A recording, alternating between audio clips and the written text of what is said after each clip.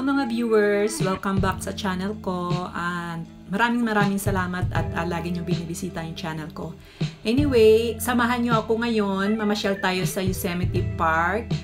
Um, ito yung pinakamaganda at malaparaisong park sa California, dito sa US.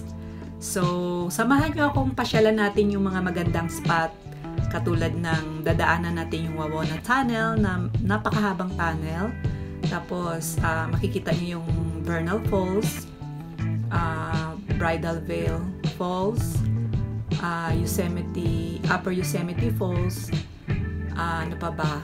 Um, Mirror Lake. So, at hindi lang yan, madami pa tayong makikita ang mga magagandang uh, spots sa Yosemite.